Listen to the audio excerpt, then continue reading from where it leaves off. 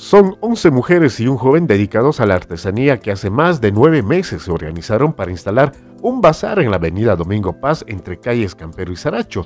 Muchos de ellos fueron capacitados en los centros CAPS de la alcaldía con el objetivo de salir adelante luego de la pandemia y esta crisis económica. En el lugar de lunes a viernes podrá encontrar interesantes y muy buenos trabajos elaborados por las manos de las artesanas y artesanos.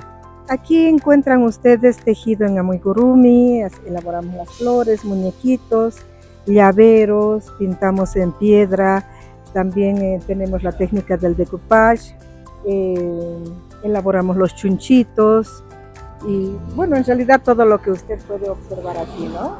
Sí, el amigurumi no es como hacer un crochet eh, con varetas, no, esto toma más tiempo en elaborar porque es un tejido más menudo es un tejido tupido y se, claro, se avanza más lento y entra más material también, ¿no? Sí, ese es un trabajo muy bonito, muy distraído y se puede elaborar con diferentes temáticas, ¿no? Naturales, de los santitos, eh, hacemos trabajos personalizados también.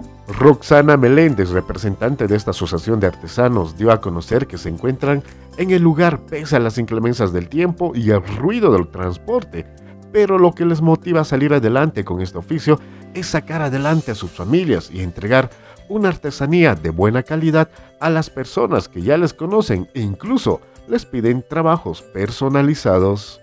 Sí, ya nos conocen, vienen muchas personas, necesitan algún regalo, por ejemplo, y ya vienen directamente a buscarnos, ¿no?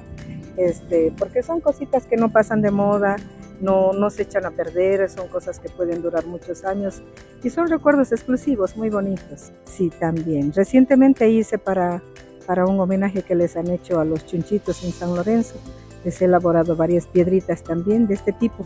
En esta asociación de artesanos se encuentran mujeres desde los 20 hasta los 70 años de edad, que pese a que bajaron las ventas, siguen con este oficio, por ello que invitan a la población a que visiten este bazar a comprar algunos recuerdos, regalos y presentes para sus seres queridos.